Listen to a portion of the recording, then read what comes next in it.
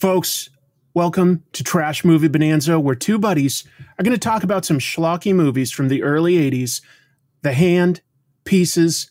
Hopefully, you haven't heard of them before, but if you have, let's get ready to have some fun together. Editor Jamie, give us that intro.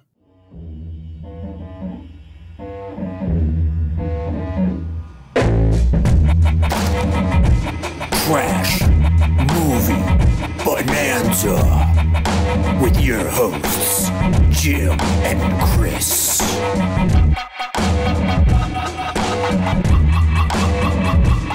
Folks, welcome to this show. I know the world needed another podcast breaking down bad movies.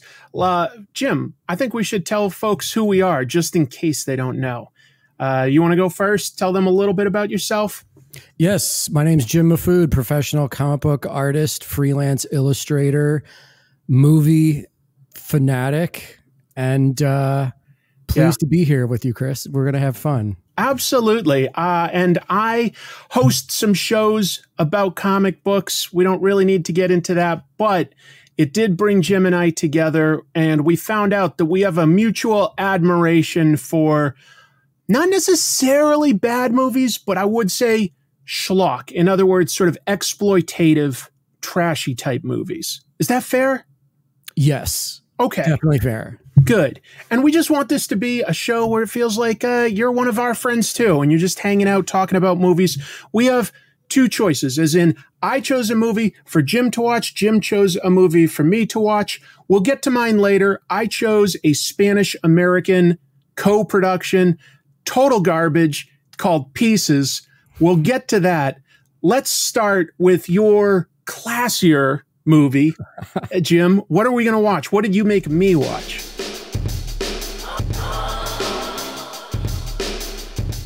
I chose The Hand, which is a 1981 Orion Pictures production, written and directed by a fresh faced, enthusiastic Oliver Stone, straight off the success of his Midnight Express movie. Yep. Oliver thought he was making a classy psychological thriller with this movie. The movie studio thought he was making a monster movie. So we have this incredible, strange, surreal sort of situation happening here where Michael Caine plays professional comic book artist uh, who loses his drawing hand in a horrific accident. The dismembered hand comes back to life and starts brutally murdering people.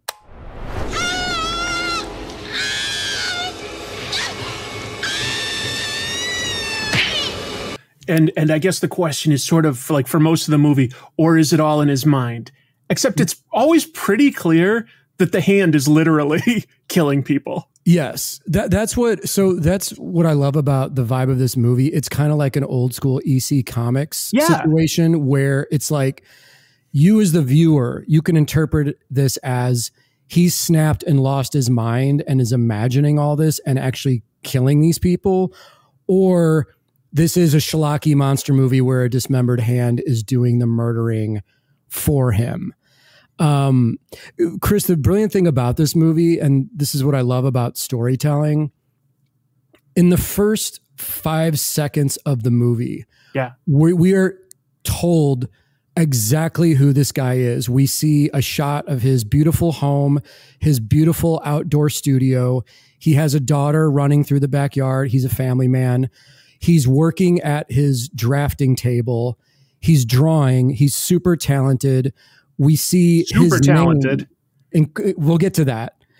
We'll, we'll we see his name on the comic strip, Jonathan Lansdale. Yep. Uh, Mandro is the name of his uh, Mandro. the name of his macho, um, barbarian esque Conan esque. Sort of Conan, sort of Prince Valiant, right? Like Yes. a little bit of both. Yeah. And what's great, man, is his drawing hand. He has a big old ring on his finger. A signet With- ring. a signet ring with JL, his initials. So almost like The ego. he himself is a comic book character, a superhero with like a Yeah. magic ring. Yeah. So that's what I love is like in the beginning, right off the bat, we know who this guy is and what's happening. And we're in, also introduced to the fact that he's married to a woman, Annie. his wife Anne, who there's tension in their relationship. Yeah, I was kind of surprised. I just want to say that, like, right from the beginning, we we see the marital tension, and John has a temper. So, if this wasn't Michael Caine, this movie would just be so much worse for it because this character starts as an angry jerk and never really goes on a character arc. That's the biggest thing that sort of makes this almost like schlock is that like the character starts at like a 10 and maybe goes up to an 11 but he's Yes, never yes. like he's That- he's our protagonist and he's not likable at all to be honest the only thing likable is is that it's michael caine and we kind of like michael caine Yes, that is completely true. You're totally right. And he's um, a jerk the saving grace of this movie is that Michael Caine is acting his ass off in this movie. yeah And I guess, man, so I guess there was kind of stories about Michael Caine in Hollywood during this era where I watched a really funny documentary about Jaws 4, which he's in, which is also just total trash. i saw that so early in life too like i saw all the jaws movies early and yeah, i heard that he he decided to skip the oscars right just to get the paycheck for for jaws 4 I, I think it was something like that. But but the the gist of it was if you could pay this guy his rate, Yeah. he would show up and do your movie or your TV show, whatever it was. yeah He wanted the paycheck. In the situation of the hand, I feel like he earned it. Like Yeah. the movie would That's not fair. be what it is without him. But yeah, man, I feel like he has, he embodies the freelancer's frustration as an artist. That's interesting. You I mean, you would know that best. Uh, you, you know, the, the scenes of him as an artist are relatively fleeting, but they did strike me as fair. It wasn't like completely out of left field how they treated doing a comic strip. Um, yeah, because there is some business stuff that goes on. It- It's not 100% clear whether he owns the character or is just the co creator and a syndicate open, uh, owns it. I, I guess a syndicate owns it, but we'll get to that later. Yeah. So, you know, there's this situation with him and his wife where his wife is talking about taking off for part of the year to move away with the daughter because the wife is interested in this like new age Definitely a new age cult. To me, man, it's like the wife wants to join this new age like cult, basically. And Michael Caine is this old school kind of guy who's like, I don't want to have anything to do with this mumbo jumbo. I'm going to go over, I'm going to stay and work on my book, work on the comic. And Who wouldn't want to? He's got a mansion in Vermont. He's got Yes. like they've got a daughter that they both seem to love, but I, I, I th- yeah, that new age cult is. Maybe we'll wait and get to that too because we, we haven't quite gotten to New York. They, they, they- Right. But she wants to go there, and I'm kind of like, you've got a good life in Vermont. Uh, The thing you know that struck me now that I think of it is this: Michael Caine's character. We keep calling him Michael Caine, even though the character is John, but it's easier to think of him as Michael Caine because he's Yes. totally Michael Caine yeah, um, he uh, he's so possessive. You know what I mean? He's possessive of his Yep. strip and like how it should be portrayed. You know, there's scenes where he's like, "That's not Mandro. Mandro wouldn't do that." That's not Mandro. Mandro knows what he wants. Mandro doesn't think. You drew all those little fucking bubbles with him thinking. And he's very possessive of his wife. So I think we understand from the beginning why she might not be happy. yes. And, you know, this escalates in this brilliant scene of them in a car where tension is escal- escalating between them. Michael Caine realizes that she wants to get away from him. Yeah. And the tension is building, man. And this is where Oliver Stone comes in as a as a filmmaker, even though he's young. Right. I almost consider this scene to be like a masterclass in tension and editing and drama because there's this It's escalated. They're fighting in the car. There's a crazy woman behind them honking, and Michael Caine's like waving her back, like, get back. The wife makes a huge mistake and goes into the opposing lane. Michael Caine's hand is out the window, and a passing truck takes his drawing hand completely off of his body, off of his arm.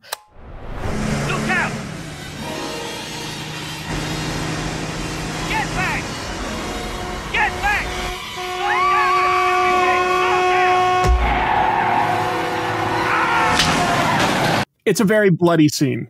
It's very bloody. It's like a holy shit moment, and that, and it's also like a very Roger Corman esque, Yeah. pure schlock B movie moment where the car pulls over. Michael Caine jumps out of the car, and there's like blood and screaming and hysteria, and that's when you know you, it's like okay, this is this is a, another movie now. Like where where is this? It going? starts as though it's going to be a drama. You very quickly see, like, no, this, that you know, get out of your head the Oliver Stone movies you've seen with like JFK and Wall Street and stuff. Get that out of your head because this is early Oliver Stone, and he's just basically trying to get his name out there. And and it, Yeah. and it is schlocky horror. I've used that word a bunch, but that that is what it is in that moment. Um, and and and I think you're right that the scene is it's already tense between two actors but it, it is ratcheted up with the annoying person behind honking and sort of interrupting this serious conversation they need to have it gets him even angrier if Yeah. that's possible uh, and and and it and it culminates in that awesome bit of like quick gore it it it, it Yeah. finally like there's release when it when it, like that gore just splatters everywhere Yes. uh, which I think we can both agree is it would be horrible enough to lose a limb, but when that limb is specifically how you make your living, Oh it's it like that's a scary thought to me. Like I love drawing, and and uh, like if I lost my right hand, I would be devastated. Yeah.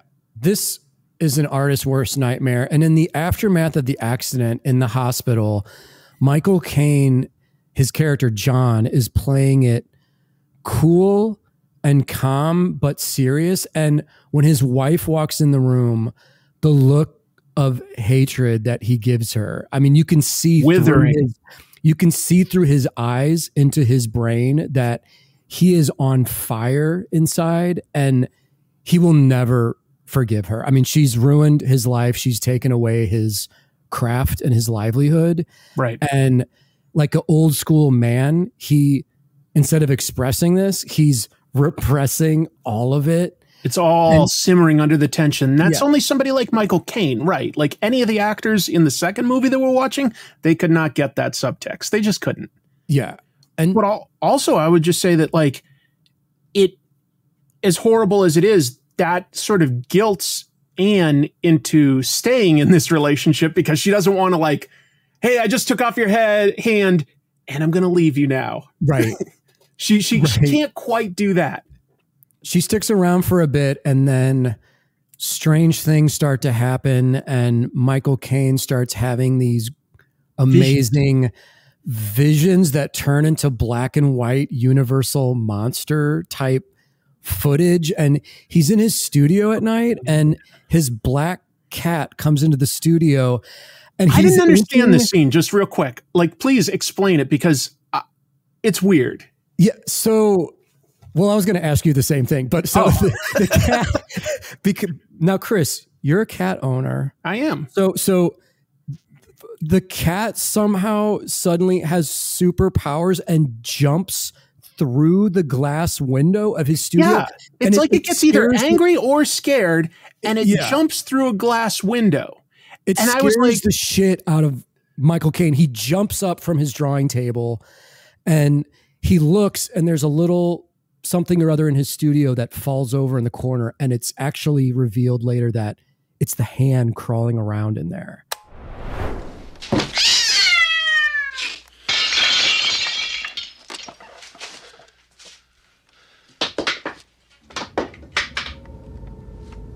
And the hand didn't like pick the cat up and throw it or anything like No. that. It just scared the cat so much that it broke through a, a pane of, of glass. No. But I'm assuming, Chris, when you're at home with your wife and there's Yeah. maybe a moment of tension at night, none of your cats have exploded through the window of Not your, through the window yet. And and I have some very energetic Bengal kittens. Uh, they get zoomies. They run around the house. I've never seen one try to jump through the window. Yeah, this is th- th- this is what pushes it a little bit away from being a serious drama and closer to something like uh, one of the Friday the 13th movies. I want to say part four. Jason scares a dog so much it jumps out of like a Yes. third story window. And I'm like, well, that doesn't happen. Yes, uh, Corey Feldman's dog. Corey Feldman's dog. And uh, another thing I wanted to bring up um, before I forget, and maybe Jamie can show some footage of this, but there's this brilliant scene where Michael Caine goes back to the scene of the accident and he's walking through the field looking for his looking for, looking for his hand. He finds his ring, but there's these incredible POV shots in the grass from the point of the of view of the hand yes. following him around, and it's shot so well. And, but I mean, it's schlocky, but it's also it's badass, man. It's weird. It's, It's good.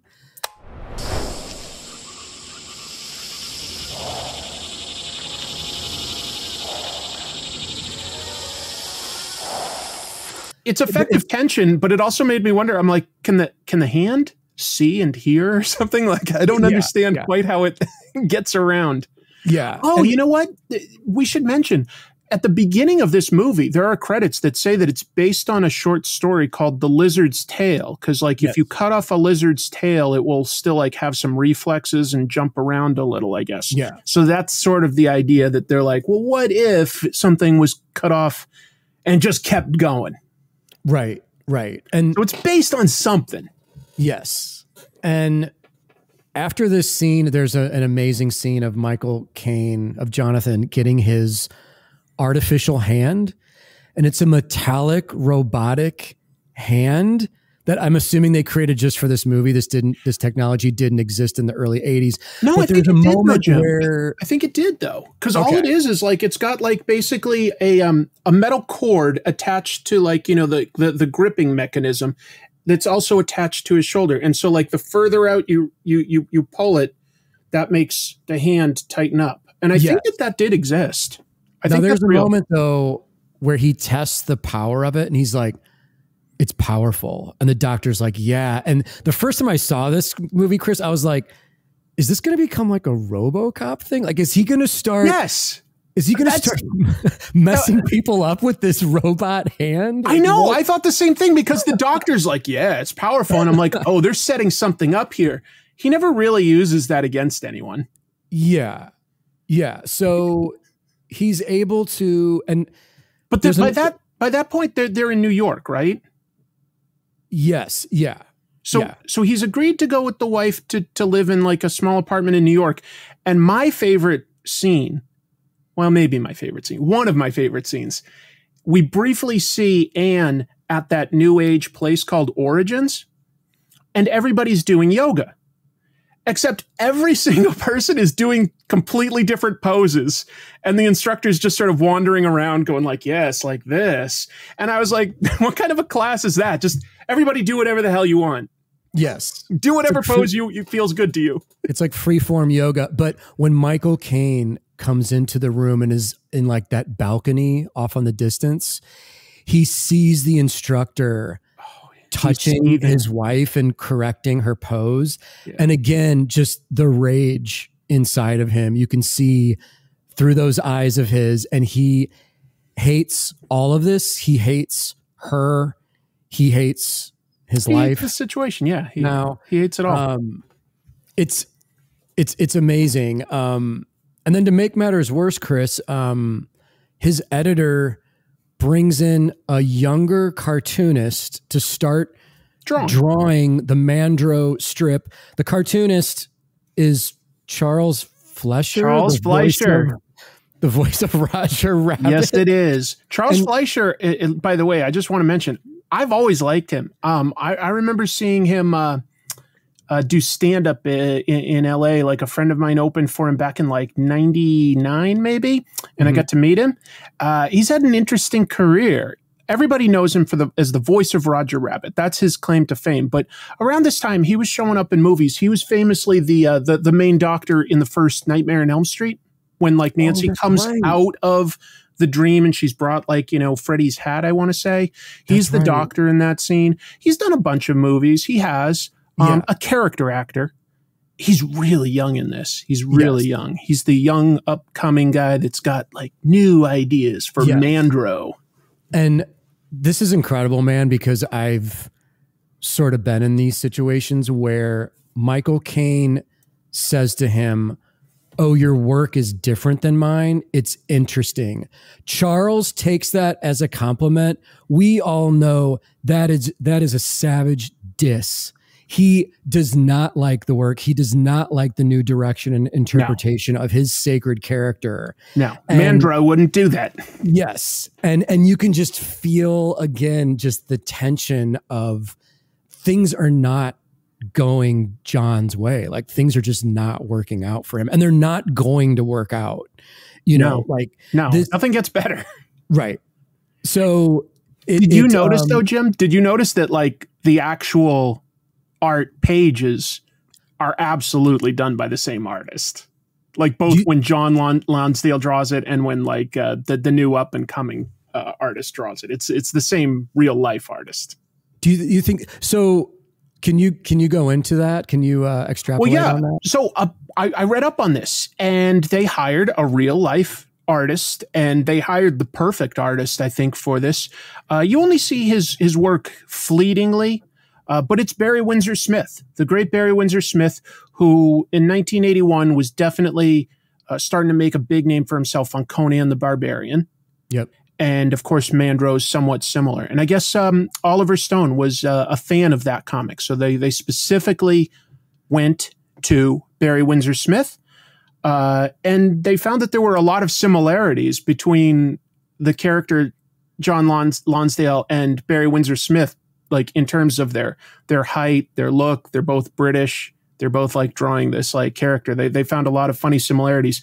But Barry Windsor Smith has said that like he felt his time in Hollywood was even more cutthroat. That was his word, uh, more cutthroat than his time at Marvel, and it actually drove him back to comics. He he didn't he didn't apparently like love his experience in Hollywood. Yeah. That's a whole other road. My limited dealings with Hollywood too. It's like, uh, uh, okay. I'd rather just be alone in the studio doing what I want to do, you know? Yeah. Uh, less less Um, collaboration, right? I mean, comics. I mean, sometimes you'll you'll collaborate with a few people, but not like you know a movie. Obviously, requires like dozens and dozens dozens of people. So, uh, and and and the character of John Lonsdale is is very. How, how would I even describe it? He's a very solitary man, and he's he's got his vision for Mandro, and no Yeah. one else uh, should mess with it. yes. Uh, one thing to mention too um, Oliver Stone actually has a cameo in this movie. Yes, he as does. Also, a one handed homeless man, a vagrant that Yeah, I didn't understand if there was supposed to be symbolism there. sort of attacks John in one of the black and white Barely. scenarios. It's the blackout scenario. Um, and then after that, we see that John has given up on the Mandro comic and has taken a teaching gig in in California. Well, you're skipping something over though, though, Jim. Like the the, the homeless guy gets killed, right? oh yes, yes. I'm sorry. Yeah, yeah. That's a pretty big deal. Yeah, In that- fact, he, he's probably the first person that the hand kills. That's the first kill. I'm sorry. Yeah, And- you're right.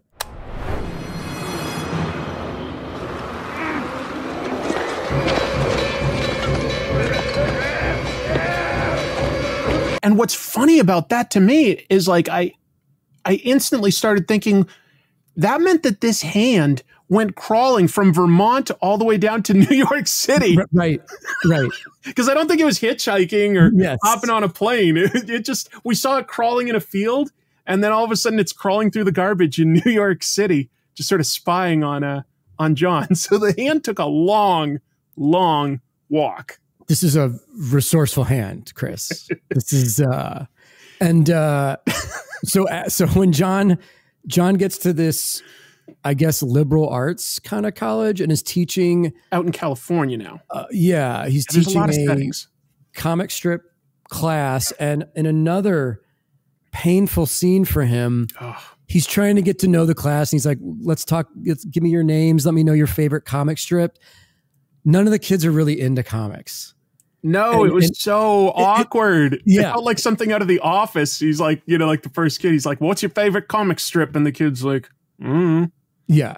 I was like, oh, and it's just like, just painful, awkward silence for a while as he Yes. tries to like see if like the kid will give a better answer. He asks another girl, and she's like, mm. Yeah. It's just, oh man.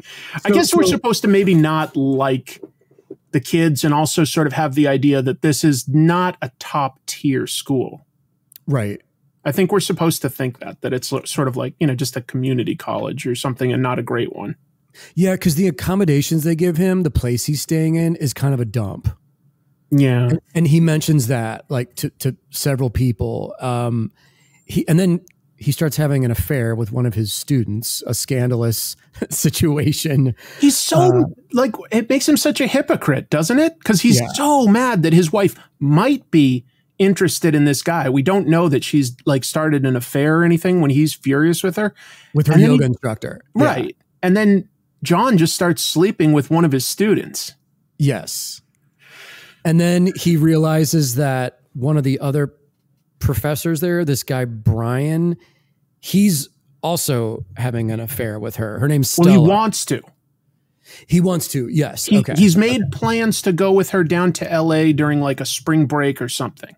oh, yes. And, yes. and they're talking in the bar. He's like, oh, and, and this girl will do anything. Like, he's like, I can't wait to, to get her all to myself. Yes.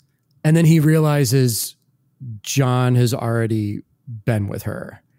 He uh, realizes that, yeah, like when she goes missing, I think. Yes. So getting towards the end of the movie, man, I don't know. I I don't think we should maybe spoil the ending of this exactly, but I don't think it matters too much. It, it did come out in 81. But if you want to, tell you what, if you want to like skip past the spoilers, I think our editor Jamie can probably just put in a time code of when we're done talking about the the the finale, and and then we can talk about it a little. oh, sure, sure. Yeah. So so so here we have the time code. Like let let's get into the the sort of denouement and the finale and everything Yes. Uh, so because eventually the the police do come to check on what, what they were they were checking on um why were they in his his garage actually? The police come and they check on on John's garage. His daughter freaks out when the mom gets assaulted. That's right. And they're staying with them and she goes to the cops. that's right. Uh, John has his one-on-one confrontation with the hand. yes. When he comes to the cops are in his garage and say open the trunk of your car because we that smell something which had been established like people were like there's a smell in this garage and we Yeah. we instantly know what that is but like they, Yes. they wait a while to to reveal it yeah and the reve- the big reveal obviously is that stella and uh, brian are dead in his trunk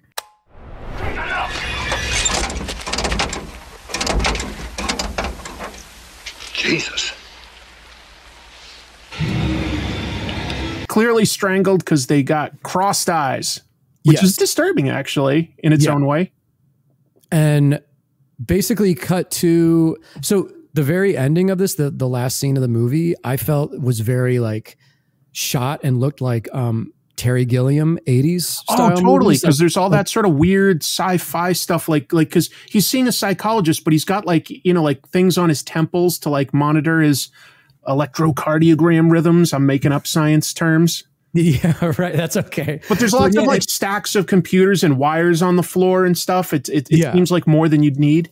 It looks like something out of Brazil, Gil- Yeah. Terry Gilliam's Brazil, and and uh, you know the doctor is sort of challenging him and figuring out like what is making him tick, and he's basically telling her the hand is you know The hand did it. the hand did it, the ha- and the hand is going to kill you as well. What does the hand want? It wants to kill you. And then you know, kind of like cut to credits as he. Well, he gets get, he escapes. He gets away with it. yeah, If this movie was made today, people would demand a sequel because like the killer gets away with it and stuff. You know, he'd Yes. he'd he'd become like a franchise killer or something like a jigsaw or something like that. Uh, but this was just a one and done. Uh, you know, I think it I think it fulfilled everybody's goal at the time. Oliver Stone was still breaking in, and he obviously proves that he can like create a scene with tension. He has a few shots that are um, innovative in terms of the cinematography. Uh, gets realistic performances out of everybody. I think the script may let the overall thing down just a little because, like I say, John starts as a jerk and he never really gets better. I, Yeah. I, I think it might have been interesting if he started a little bit sweeter and halfway through or a third of the way through, he found out about the affair after he lost his hand and started to um, become more vindictive. Mhm. Uh, it- but I don't know how you then get the initial scene of uh, where he loses his hand. I, I don't know. Like that. That that's that. I don't know how you solve that problem. Um, but but you know, and Michael Caine said he just did it because he wanted like um to to do a a payment for building a garage, like a big, a humongous garage to his house. So he he like Yeah. just he got paid. That was his Yes. goal, and he did it. Yes.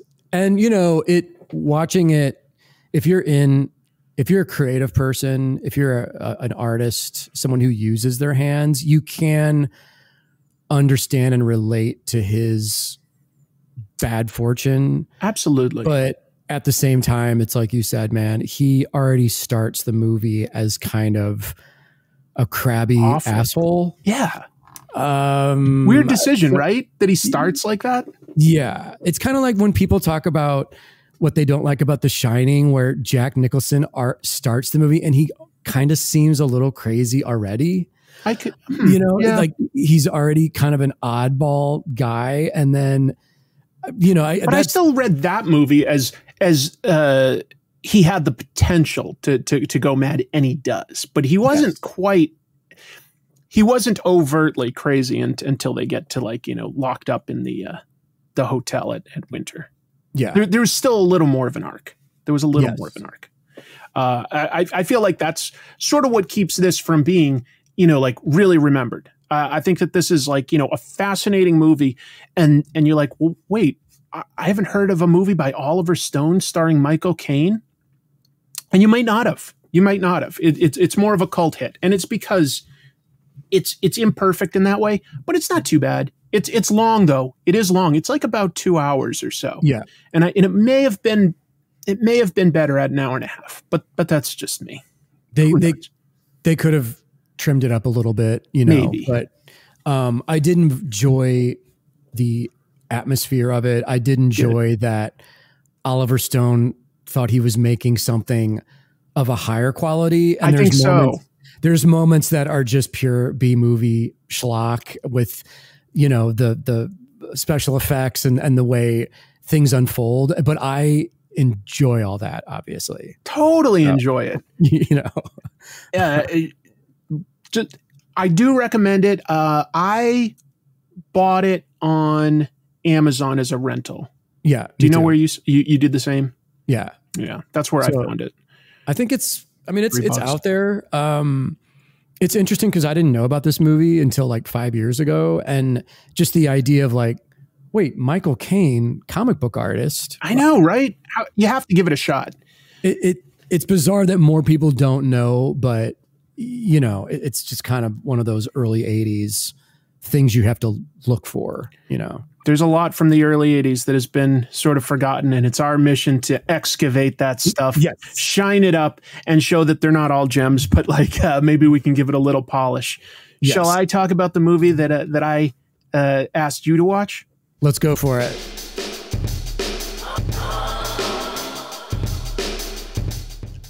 You'd seen this before, and so had I, but like I think not for a while. I Yeah. chose when we were talking about doing sort of a schlock movie thing, pieces. Uh, I love these weird co-productions in the 70s and 80s from like America and Canada, America and Spain, America and Italy, because they always come out a little weird. Mhm. Uh, and that's Pieces from 1982. Kind of the same time frame. So much worse because this is a Oh, yeah. movie Oh, yeah. about it's so straightforward.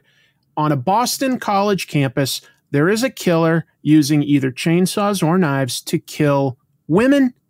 Uh, and the police are so drastically underfunded, they basically turn to a former women's tennis pro and one of the college students to help them resolve this crime. Uh, you can tell that it's weird because right from the beginning, all of the audio, even though people are clearly speaking English, it's all dubbed. Yes. So it's one of those Yeah. movies, kind of like the old uh, Sergio Leone spaghetti westerns, where they they filmed it, but they didn't record sound, and then they'd have like the actors like dub their lines later. Very strange way of doing things. When did you get this? I thought I told you a half hour ago. because this was sh- this is supposed to take place in Boston and it was shot in South America. Oh, was it shot in South America? Yeah. I didn't look up where it was shot, but it Yeah, it definitely was- was, not Boston. I grew up in Boston. Yes. Nothing Boston about this. It was um my notes say that it was shot in Madrid. So uh Oh, Madrid is Spain. oh Spain, I'm sorry. I'm sorry. That makes Yes. more sense because Spain Yeah. was the co-producer. Okay, Spain. Um, that makes sense. It did drive me a little nuts that there was pretty much never an establishing shot of the college campus. Yeah. Like it, it, it's something that like just sort of like in the back of your mind, it's very strange when a movie never really has an establishing shot. You just cut to the room with the characters in it and they're doing something. Yes. It, it, it, it messes with you. But uh, he, I'll break this one down or I'll, I'll do my best. Uh, Please do. so it starts in Boston, 1942, we're told. Just a regular house. And inside, a little kid is making a puzzle. Okay, fair enough. Mom comes in, sees what the puzzle is, starts beating the crap out of the kid because the puzzle is porn, right? Yes. Yes. A nude woman. A nude woman. Where did this filth come from? Like a centerfold out of Playboy or something. Right. It's pretty innocent, all things considered. What's funny is that it's only like 50 pieces. You can just tell it's like one of the simplest puzzles like possible. It's really not complex, but whatever. Whatever. Right. The mom beats him and she she starts like tearing his room apart, looking to see if he has any more of this filth, right? Uh, I don't know if you, you you noticed this, Jim, but when she opens like his toy box and starts throwing stuff out, there were comic books in there. Yes. Yes. There were Yes. comics. like, 1942. Think of how valuable those would have been. Those are some golden age classics in there. Probably had like Action Comics number one that she just ruined. so maybe she deserves what comes next. I don't Right. know. The kid takes an axe to his mom.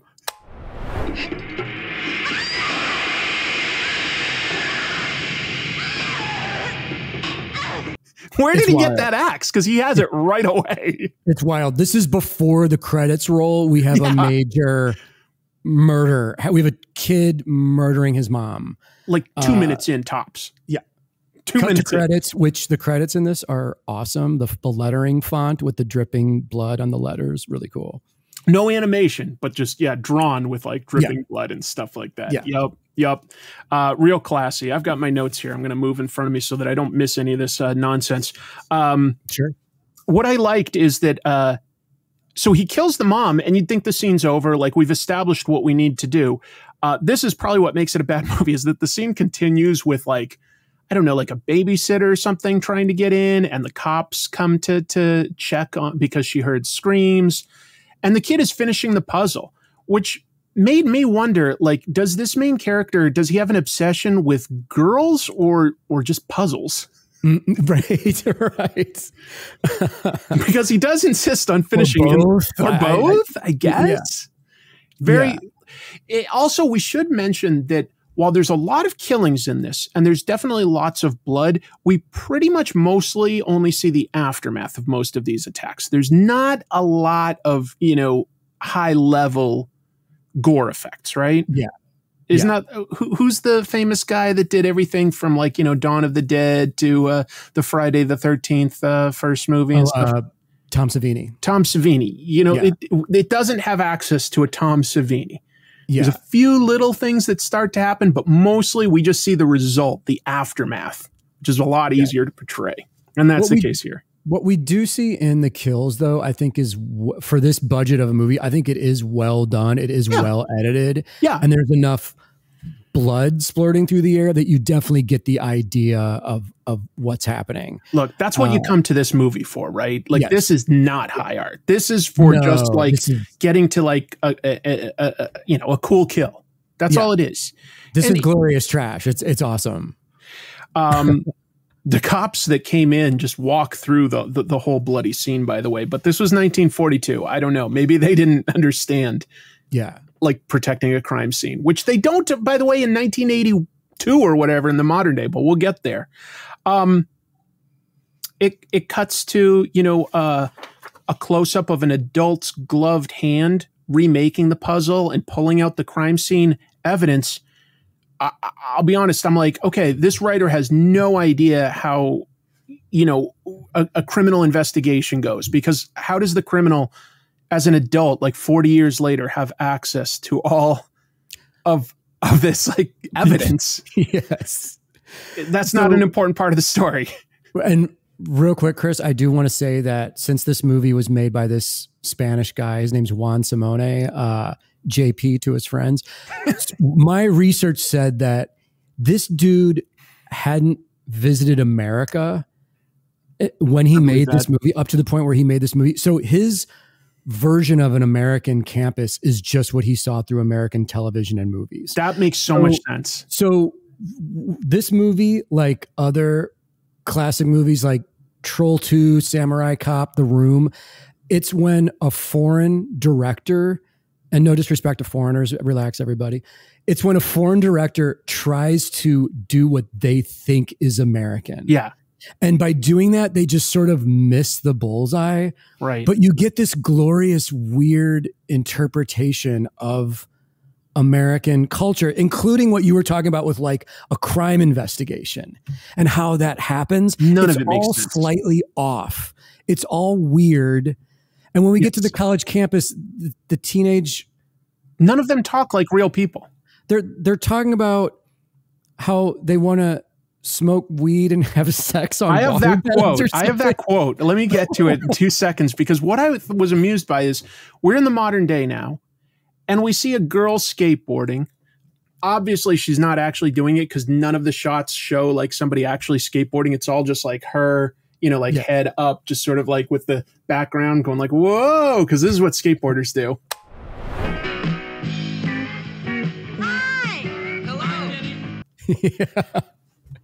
and we established that there's some guys uh, carrying a huge window pane of glass.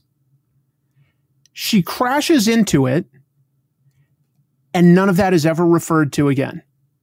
I have no idea what that had to do with the movie.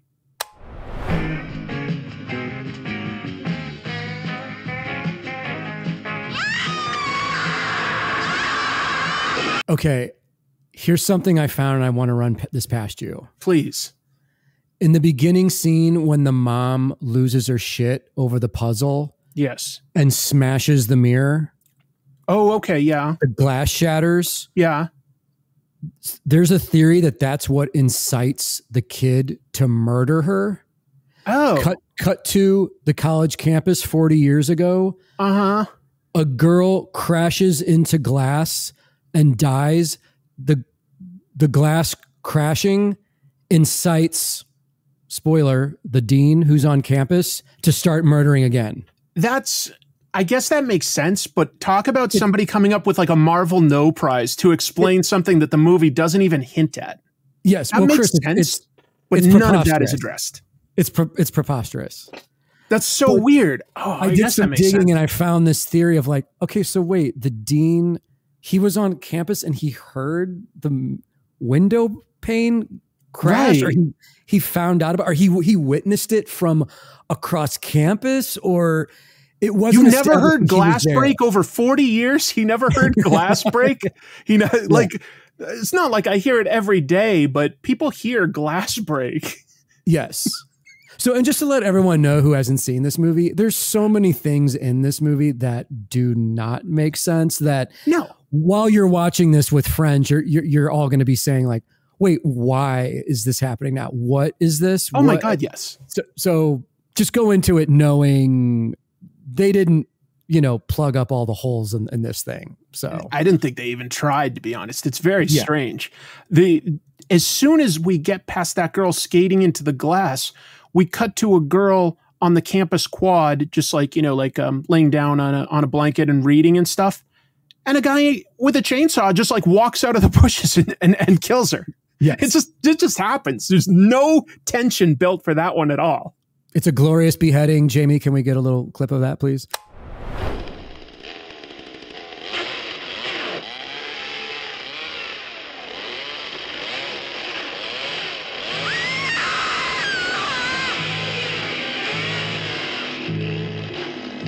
Yeah, Um, uh, just in broad daylight. yes. In broad Yes. daylight. Uh, And- a chainsaw is not a quiet machine, but I guess he gets away with it. Yeah. And and and then right after that, I think when they, established the first red herring of who the killer could be, and Hmm. it's the actor who plays Bluto from the Popeye movie. He's introduced pretty shortly after that. Yes, Willard is the character's name. Yeah. Uh, correct. Played by the same actor that played Bluto in Popeye, like the year or two before Robert Altman's Popeye. Yes. He has such an awesome look. I think Paul Smith was the actor's name. Great look. Okay. But he always sort of like every scene he's in, he just sort of looks angry and he's like looking like this. He squints Yes. one eye and opens the other, and he's just like, he looks like he's ready to punch anyone that talks to him. Yeah. But but Chris, there's scenes of him where he's outside and he's like cleaning a chainsaw. Yes. You, you know what I mean? He, he, the He first time we see him, he's like stroking the chainsaw with like a rag, like, and and it's like, it was such a red herring that I was like, well, he's clearly not the killer. It's just way too obvious. But like, we're meant to suspect him. Um, this girl's been killed, and we cut to like the dean's office. That's an important character. We meet two other important characters: Lieutenant Bracken, Sergeant Holden, the two police that I guess are assigned to investigate this they do literally like nothing through this whole movie, but they they are always there to clean up the crime scene and go like, we gotta stop this. Yeah. Like, put people like do a curfew, do the bare minimum. I don't know. yes. Um, they're talking to the dean's secretary. We and and we cut to another important character uh, and have this quote that you liked. We cut to um, Professor Brown is the uh, college's anatomy professor. A little bit of suspicion on him because he's kind of quiet. He's the anatomy professor. Maybe he's got an obsession with body parts. Uh, and some of the students are sort of like joking and teasing. And this one girl goes, uh, uh, and, and Jamie, maybe you can just cut it in, but here's her quote. The most beautiful thing in the world is smoking pot and fucking on a waterbed at the same time. Sure. Hey, That's how it- kids talk. and then she sort of um she she tries to make the professor uncomfortable by like going up to him and going like are my breasts normal? And Yeah. he's like, "Yes, they are. They they they they're here. Yes, they're they're normal." Yes. It's completely out of left field and very bizarre, but and it makes you just sort of You go know. like okay professor brown seems off he seems weird they sort of explain that right at the very end why he's a little different i guess uh, Yeah. in how he reacts to this girl we cut from this to the secretary saying that she heard that the lieutenant thinks it's an inside job and I have to admit that while it is, that strikes me as like the writer knew where this was going and like planted that. But there's really nothing that ever, like to me, seems evidence that it's an inside job, that it's a faculty member as compared to a student or, you know, just somebody that like a janitor that has access. I don't know. They're like, it's an inside job. It's got to be one of the faculty. That's who we're all supposed to think. Ridiculous. there's Um, no setup for that. No, no. And maybe I'm lingering too much on this. Um, the dean makes Professor Brown uh, serve as a tour guide for the cops, right? And this is another weird scene that doesn't make sense. And the, the professor's like, I'm busy. And, and the dean's like, well, not as busy as I am. He's like, okay, fair. the, the professor like goes to his anatomy room and they go like, hey, uh, do you know this girl? Like, did she run around with guys? And he's like, I didn't really know her that well, to be honest. And they're like, okay, well, we're done. We're going to go read the coroner's report. I was like, so they didn't really need a tour. Yeah. I don't know what any of that was. It's just like such, so much of this movie could really be condensed and cut down. It's an hour and a half, maybe, maybe an hour 25, but it could probably be cut down to like 70 minutes tops. Yes. It- yeah, because man, I just rewatched this and you're right about that scene because there are so many scenes put in this movie as That go nowhere. padding to make it an hour and a half. Yes. Um, not to jump ahead, but there's like a, a scene with two women playing tennis. Yes. And, and It goes just on for too it- long. It, it just goes on with these women playing tennis. One of them is an established becomes an established character in the movie, but it's like, and now here's the big riveting tennis scene. Well, in the in that Uh, scene, that like one of them is supposed to be a tennis pro, but it's clear that the actors don't know tennis because they're just sort of like lobbing the ball way up high. It's it's it's the most boring, flat, uninteresting tennis scene you've ever seen, Yes, and it goes on for a while. yeah, Um, so yeah, that's basically after the the secretary, the cops, and the dean and professor. That's when we first meet Willard stroking his chainsaw. Great character. Um, but this is probably the the beginning of my favorite sequence in the whole movie. The the, the girl that gets killed in the pool. yes. We start in the library, and the campus stud is a guy named Kendall. Dorkiest looking motherfucker ever. He's like, I don't know how, why they present him as a, as a stud. I, I completely agree with you. This guy is is having Nothing. sex with all the hottest ladies on campus. Yes. How is this possible? I, Uh, I don't know. And, and, and a girl, it just like, no setup. They're just both studying. A girl just sends him a note that says, like, I want to have sex in the pool. And he's like, cool.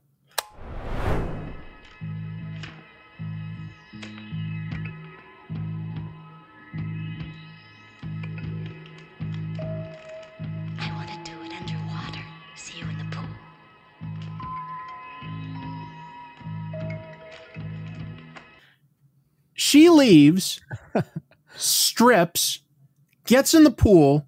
Kendall, nowhere to be seen. Right.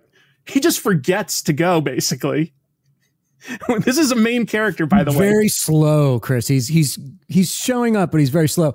Also, when she goes into the the pool room, this incredible, uh, sexy saxophone music starts. the porno music It's amazing. It's It's- awesome. it's hilarious awesome. Th- this this movie has like sort of two types of music when there's something sexy they play like a real sort of sleazy simple like only one or two instruments you know like like you say like a saxophone or something or when somebody's being like sort of chased or stalked you know it's just a sort of dun dun mm-hmm. like very like there's just two types of music very simple music Yeah. the Yes. girl's in the pool and the killer arrives. This is the first time we've really seen the killer stalk someone because the girl in the quad, he just kills. He's all in black, right? He's got black boots, gloves, hat. We never see his face. Mhm. And how does he get the girl out of the pool, Jim? With a uh, pool leaf rake skimmer, The skimmer, tool, yeah. and Chris, the pool is indoors. Yeah. Nice, nice college. Nice college, an indoor So how- pool. why do you need the pool skimmer? To I, I- There's no I- leaves.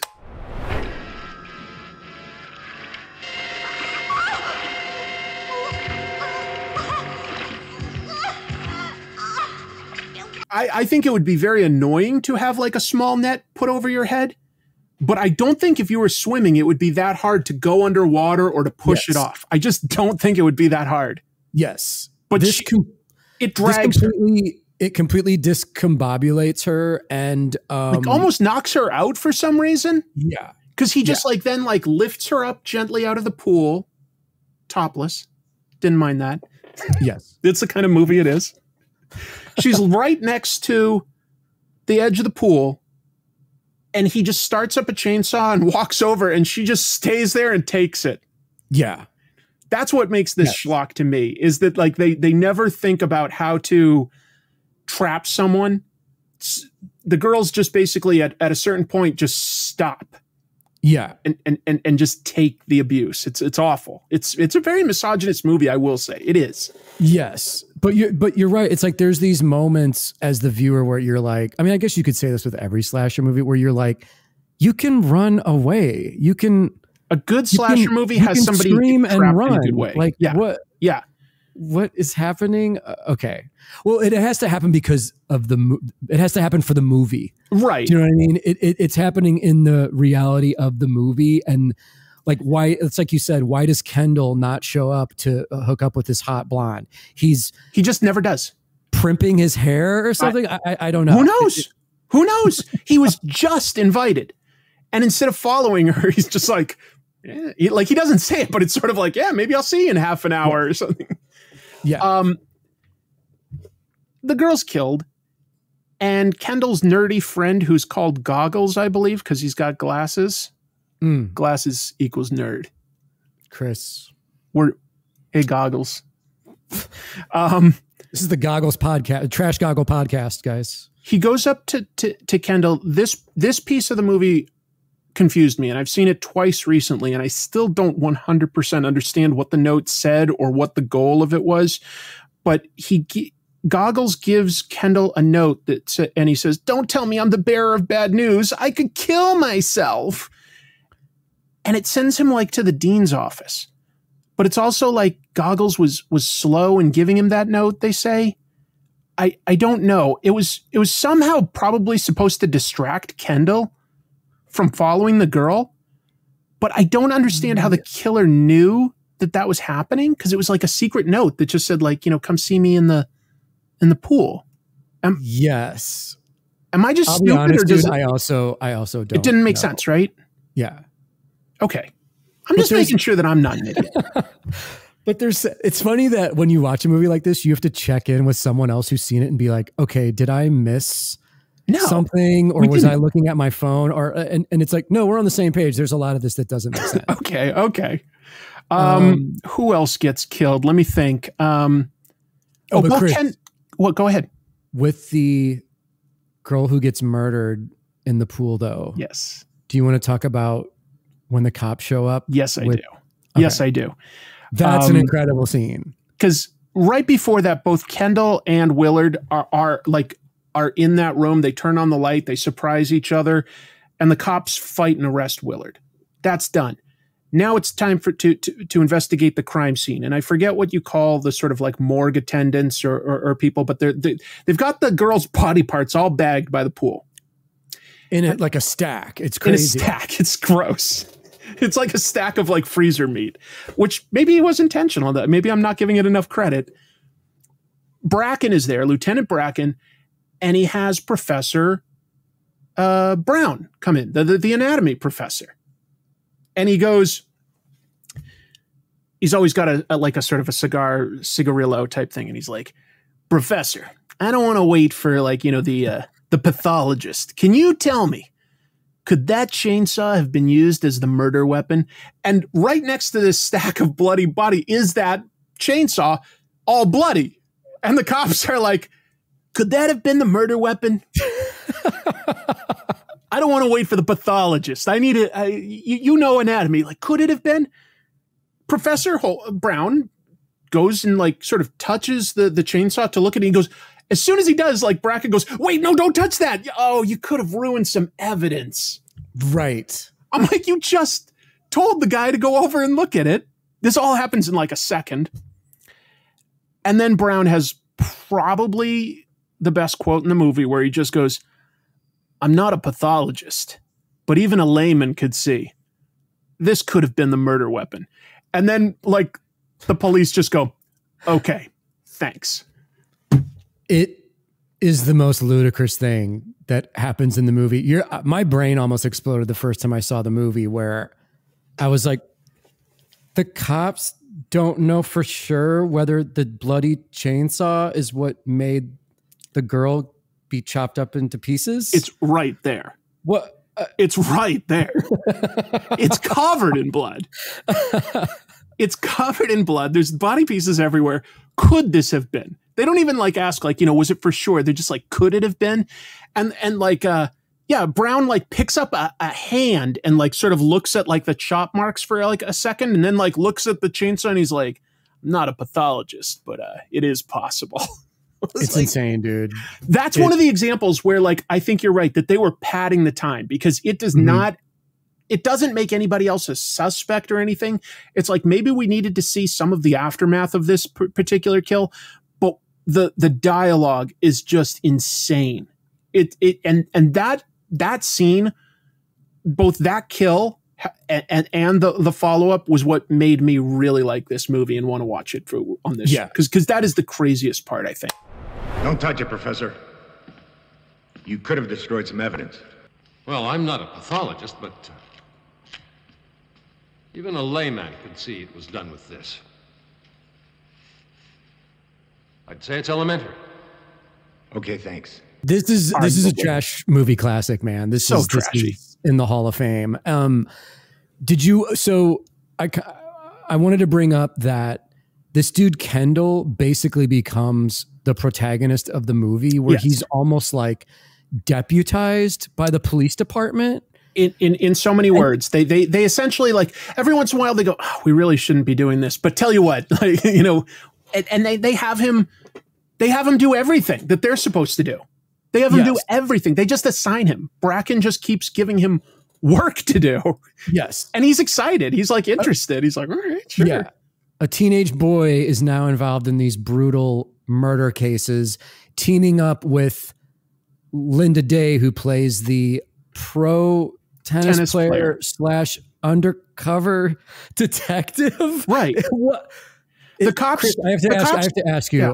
how can you be an undercover cop but also be a well-known tennis pro, player pro tennis player? it's like it's like they didn't even think about that because there's there's no the only reason for her to like know tennis is because they basically have her go undercover as a tennis instructor at the college.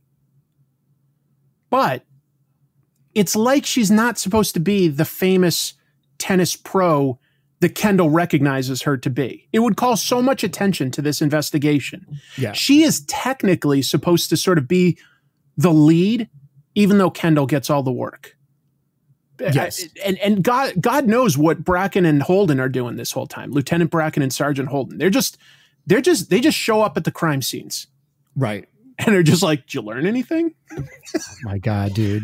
And then They so they they they tell by the way the cops first tell the dean that this is what they're doing okay so he knows the plan they're like we're putting an undercover person in here and the dean is like is that really necessary and it's like whether you're the killer or not yeah there have been two murders on your campus like is it necessary yeah dude there's Yeah. it's two murders it's necessary. um i just bizarre um there's I have a big go ahead. I have a big question to ask you, Chris. I mean, this is a very, very important question. What the hell is Bruce Lee doing in this movie? Yeah Out of nowhere, there's a kung fu scene with Bruce Lee, who is one of the Bruce Lee exploitation actors. After Bruce Lee, I think died, his name Bruce- was actually pronounced also Bruce Lee, even though it's L E. But but yeah, Okay. I know what you I know who you're talking about. I, I watched. Uh, this is very nerdy, but when Joe Bob Briggs was talking about this movie, he was Oh. pronouncing it Le. Was he? Well, he would know better than me. Then he would know was better. Bruce Lie. There Bruce was. Lee was obviously the real guy, and then there was all these different Bruce Bruce Lee guys imitators. who were exploiting Bruce Lee after he died, making these you know fake Bruce Lee kung fu movies. But regardless, this dude shows up, and um, Lynda Day is on campus at night doing some Scooby Doo investigating. well, she's and- really just walking down the street, but yeah, or, or like the campus. but he just attacks her with some kung fu moves. She kicks him in the groin and takes him out. Kendall shows up and is like, "Oh, hey, what's up? That's my kung fu instructor." Better, better. He calls him his kung fu professor. Yes, It I'm would make sense if he was his kung fu instructor, but he calls him a professor. Now, a professor is like you have to earn that rank. So, Yeah. like, does he actually teach kung fu at the school and he's a professor of kung fu? But you're right; it makes no sense. It's it's just there to give you sort of a jump scare because, like, a guy jumps out of the bushes and attacks. Her name is Mary Riggs, played by actress um, Lynda Day. Oh, by Mhm. the way, let's pause real quick. Lynda Day in real life was married to the guy that plays Lieutenant Bracken. I'm pretty sure that this couple literally took this job for a Spanish vacation. Yes. Right? I mean, like, what other reason would they both have to be in this? Yeah. It, it it's not really the kind of movie that they would do otherwise. In my I think you're 100% right. Um, there are other weird scenes like uh, uh, Kendall gets introduced by the police to a psychologist, and it, uh, he goes like, "What they want to do is create a psychological profile." There's like this awkward beat.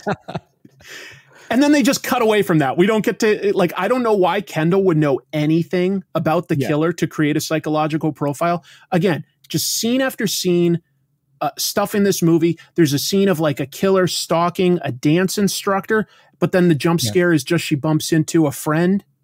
Yeah. Um, Well, again, man, it's almost like okay, what does Juan Simone think of American culture? It's I don't know. throw in some kung fu stuff, throw in aerobics because that's early '80s.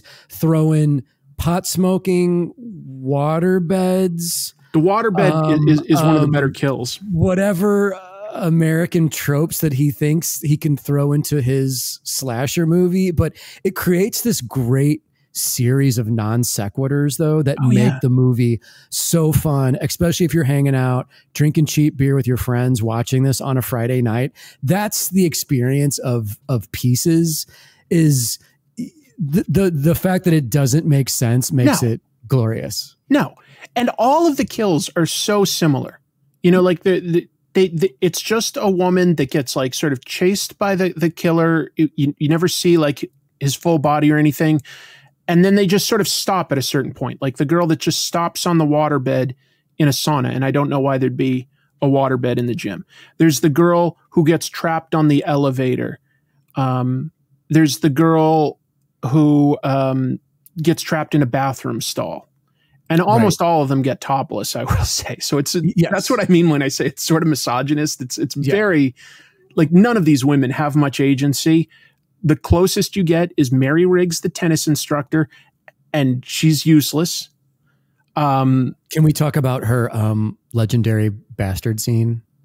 Oh yes i have that. I have that. So we because Jamie has to show this. This is this is an Oscar worthy moment. for her. Yes. this is this is unbelievable. Uh, where, where where is my note here? But you're right. Okay, so one of the girls that gets chased through like sort of the locker room, and she ends up hiding in a bathroom stall, which of course the chainsaw cuts through.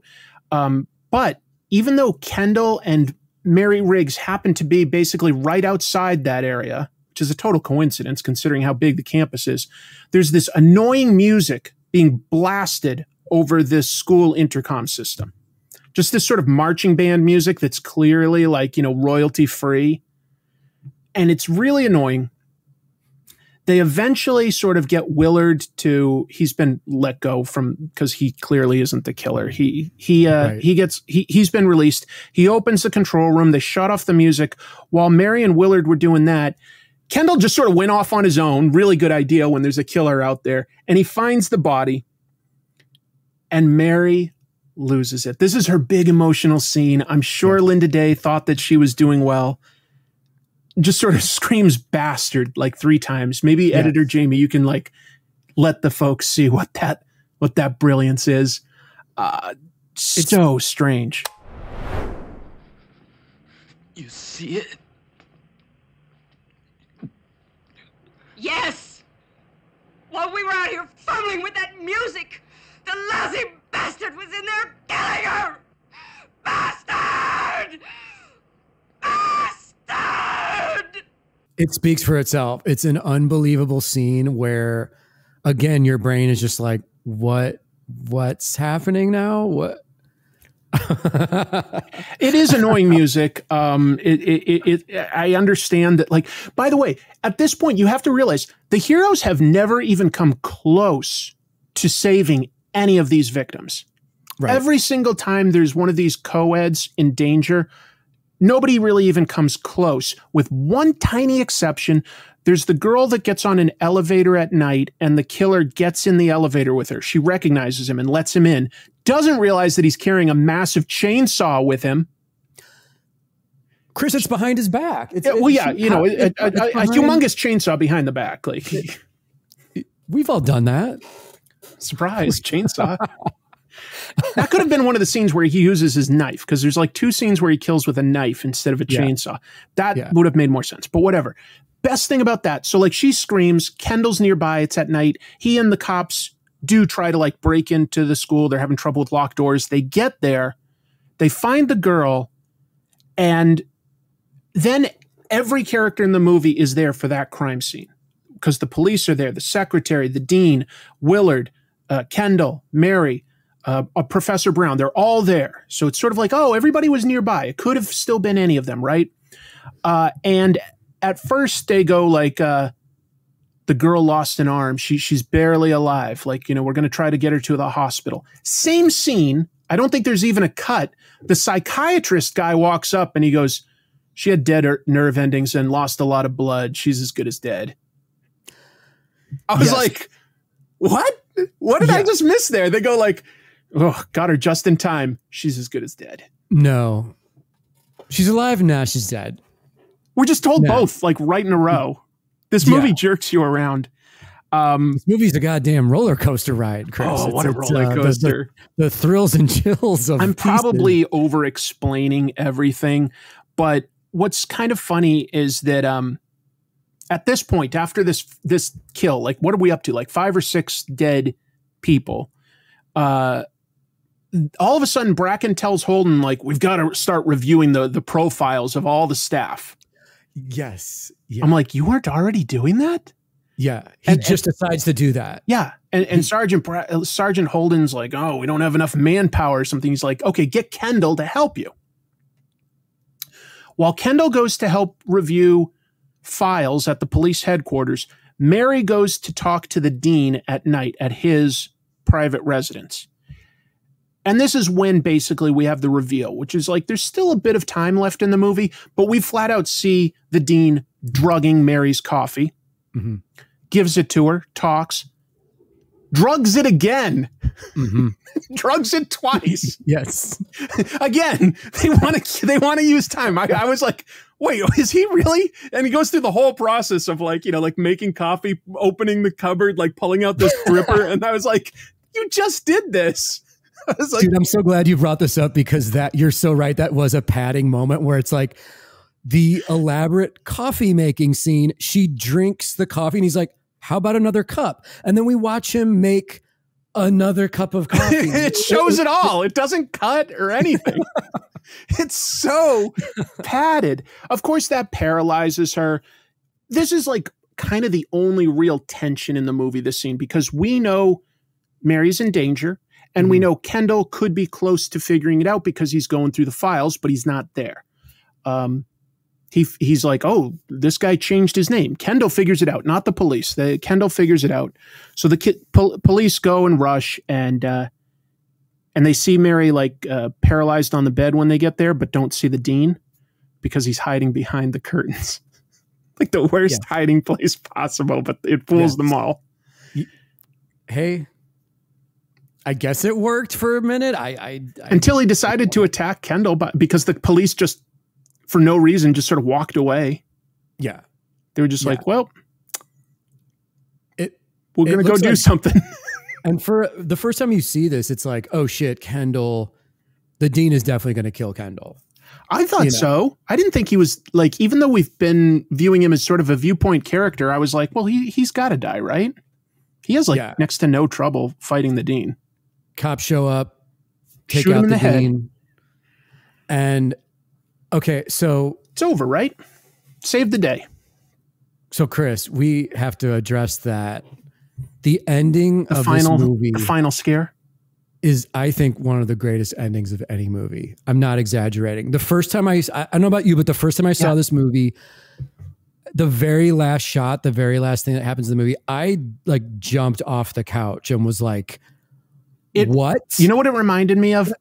Because of both the twist and how it's filmed, is Sleepaway Camp. If you've ever seen the end of like Sleepaway Camp, yeah, real low budget horror, but also very weird.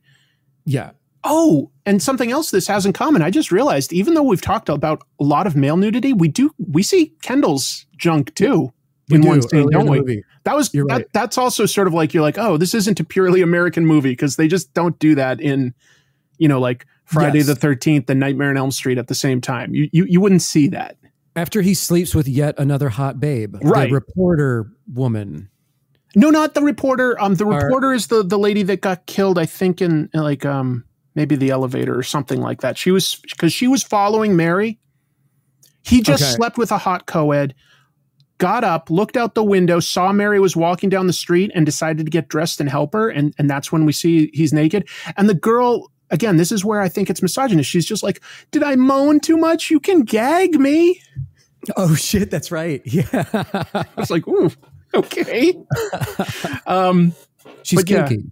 she's kinky but yeah so like we, we basically get like sort of a double scare in a row first for for for no real reason a cabinet opens and a corpse falls on top of kendall the corpse being like you want to describe what it was The corpse is the dean's sick and twisted creation, which is a woman made up of all the body parts he's been collecting from different women, Mm, jigsaw pez- puzzle uh, sewn together. yeah Uh, pretty messed up pretty wild. pretty, Pretty wild. wild. falls on top of him. They put it in slow mo. Got it. It's disturbing. He gets up. They're all ready to leave. And the most bonkers thing in the world happens. Just, just so bonkers. Does not fit with anything else we've been told about this movie. This is the reason for watching the movie, people. Yeah, skip, skip to the very end if you don't want to have this final like scene spoiled. Jamie will put the time code there when we're done talking about this. The corpse's arm, she, she's alive somehow. It grabs Kendall's dick and basically like rips it off or, or castrates him somehow. It Yes. just claws It- in and like there's a big pop. Yes, it her hand and fingers drag down his groin Gouge. and his testicles explode in her hand Yeah. in a bloody explosion And he crosses he's- his eyes. and he screams and then cut to credits. Rude over it, kid. Let's go. Hey, my jacket.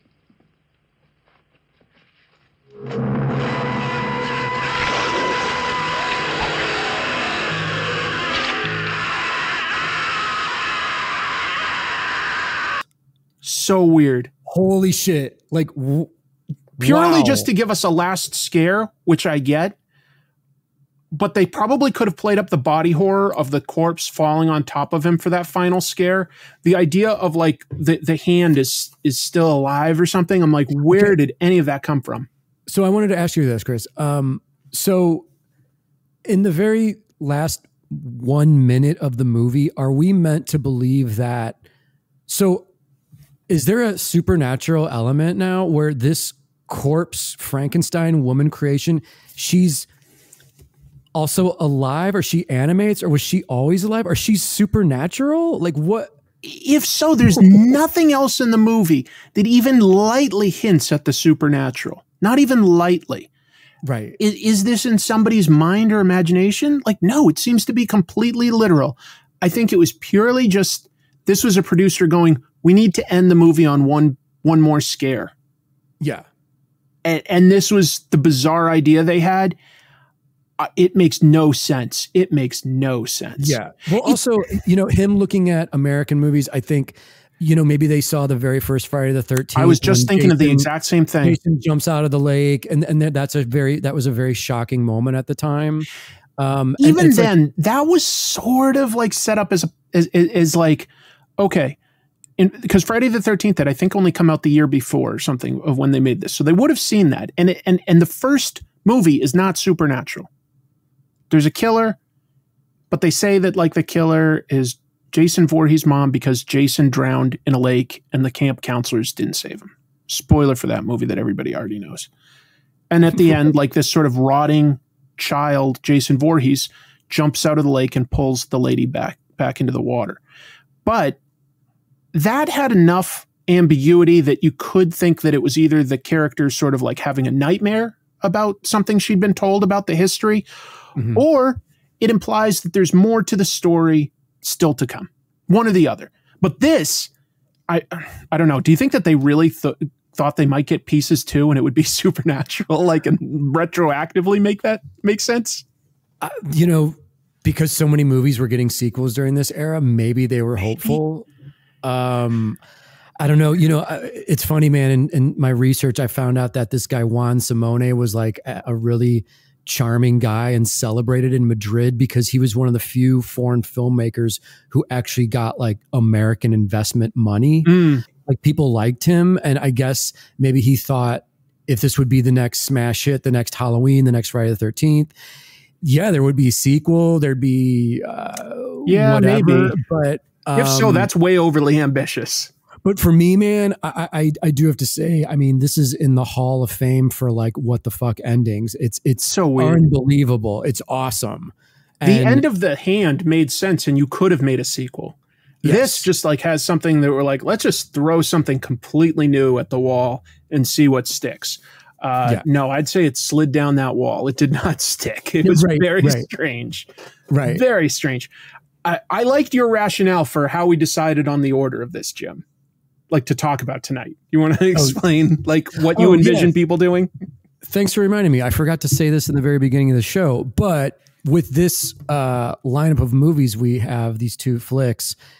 If you're going to do this as a double feature with friends, um, you know, I would say start off with The Hand, invite your classier friends over, have hors d'oeuvres, maybe drink some wine or whatever, have some a few laughs, and then pieces is after the hand, obviously. And that's when you invite over your beer chugging, bong hitting friends. And you guys are hooting and hollering and laughing your ass off and enjoying the ludicrous, beautiful insanity of pieces. And Chris, I'm so glad that you suggested pieces. It does let me know that you're maybe a more demented pervert than I am. Um, right. I yeah, am kidding. I'm kidding, buddy. I'm kidding. Um, but it's such think, a weird movie that it just like it legit yes. just makes me laugh. Yeah. You until you actually watch in context that scene by the poolside with the police and Professor Brown. You, you just that that that says it all. That says it all of what this movie is. Yes. Um, oh, and by the way, the the whole twist why Professor Brown acted weird is the dean says uh, he's a homosexual, so that's why he wasn't into girls. Oh, that's right. That's right. It's such yeah. a it's such a like I don't know. It was 1982, so I guess that was like considered sort of more taboo or less spoken about or something. Cause th- that's what makes that that that guy seem like a little less a little more quiet. He keeps to himself yes. for and I was like, you know what? That sort of makes at least sense. Like why he keeps a little bit more to himself and why the girls are trying to make him feel awkward and stuff like that. I was like, okay, right. I sort of get that. By the oh. way, that guy was in a um, comic book type of a movie that same year. He was a priest in uh, the Conan movie. Ah, nice. Okay, cool. Mm. Yeah. Um, you know, the last thing I wanted to ask you uh, was the first time I watched Pieces, I, I, I was a little disappointed because I felt like it's obvious that it's the dean. It is from the get go. It's pretty obvious. They don't do, do, I mean? Job. Like, yeah, it, it I agree. It, so you you know red herrings their attempt at red herrings is charming it doesn't work but that's that's one of the you know bizarre things about the flicks it's kind of like well yeah. it's obviously this guy yeah so the only one i slightly suspected aside could have been professor brown just because he's pretty quiet and in the background but they do introduce him early on so i was like well maybe but um i pretty much suspected the dean from the beginning he was just like I don't know. It, it, yeah. It's when there's these mystery type slasher movies, you really have to do a good job giving a potential motivation to a killer to make us actually suspect them, not just say that they're around. You know what I mean? And right. and hardly any of them, even the dean doesn't really. We don't really ever learn his motivation. He just has the the sort of means to do everything. Yes. But there's no real motivation other than, like you said, like some forum was like, well, maybe the smashing glass set him off. I'm like, I guess. Chris, it's the it's the smashing glass theory. Do you not know this this theory? God forbid Michael Caine ever heard uh, smashing glass. His hand would go nuts. Have killed like three times as many people. Right, right. What a, what a duo.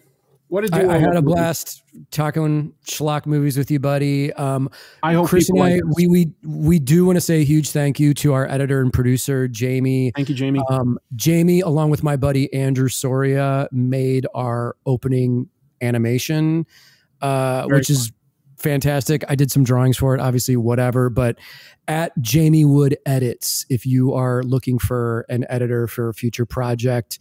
Um, also, thank you to Sean Crystal for introducing me Oh, to okay. Jamie. as Uh, as long as we're we're doing that, do you have any plugs? I, I'll plug my website, just jimmahfood.com to buy uh, books, prints, and fun stuff. And you can find me online at Jimmahfood, social media. You guys know where I'm at. Perfect. Um, Chris, and, and what can you plug? Look, you're you're already on one of my channels, um, so if you guys can hit like and subscribe, that'll let us know that you want to see more of this because we'd be happy to. We've got a bunch of movies we've sort of uh, uh, brainstormed that we could talk about. I think that this is just fun for us, so we're willing to do it if you guys are uh, open to it. Uh, and I also have my channel Comic Tropes where I do more uh, edited analysis videos about either comic book techniques or history. Fantastic, buddy. Oh, and uh, leave your comments below on what schlock B movies You are interested in Yeah. and what you love. And if it has anything that like ties into a cartoonist or an illustrator or something like that, that like, you know, like what Evil Toons was one you were watching recently, which is technically like, you know, a, a, a schlocky one about a, an illustrator for, for example, like there's things like that out there. There's so much we can cover, buddy. There's the There's- ambulance with, um, uh, Eric Roberts as a Marvel Comics employee hunting down uh, organ snatchers. There's there's all sorts of ones that are tangentially related to comics that we could throw in with other Yeah. schlocky nonsense. So That sounds like a great formula to me, man. yeah, a little schlock, a little comic books, or, or something like that. We'd love to hear your thoughts. Thank you so much for watching. Let's uh, let's go with the outro credits. Trash Movie Bonanza.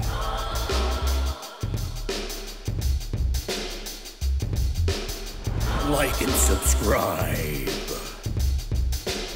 Thank you.